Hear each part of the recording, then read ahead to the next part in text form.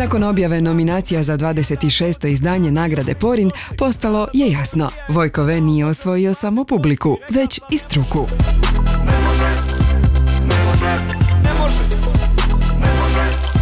Predvodi listu nominiranih, a među šest nominacija kojima se okitio, dvije su super prestižne. Ona za album godine te za pjesmu godine za Ne može. Vojkov album nominiran je i za najbolji album klubske glazbe, te najbolje likovno oblikovanje. A tu su i nominacije za najbolju mušku vokalnu izvedbu, te nominacija za najbolji video broj za pjesmu i spot Ne može. Zovi čovjeka, zovi, zovi čovjeka,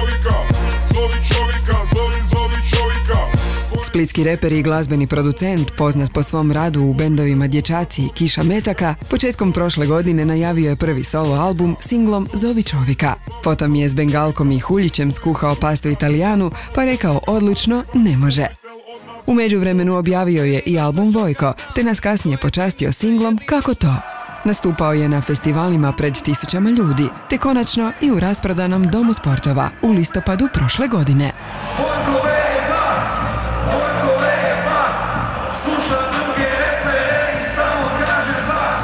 Priznanja i publike i glazbenih novinara za Vojka stižu već početkom ove godine. Na dodjeli prvih Rock and Off nagrada prepoznao je Vojka i žiri, koji ga je proglasio rap i off izvođačem godine. Ali i publika prema čijim je glasovima Vojko proglašen najizvođačem godine. Mislim da nisam ista osoba. Ovaj. Mozak mi se totalno prebrnija da, da dajem intervjue non stop.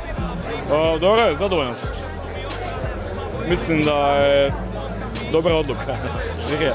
Uz šest nominacija za Porin, Vojka je razveselila i vijest da je, zahvaljujući svojoj glazbi, postao jedan od finalista za komunikatora godine. Priznanja koje Hrvatska udruga za odnose s javnošću dodjeljuje osobi ili skupini koja se profesionalno ne bavi komunikacijom. No vrsnom se komunikacijom istaknula u prethodnoj godini.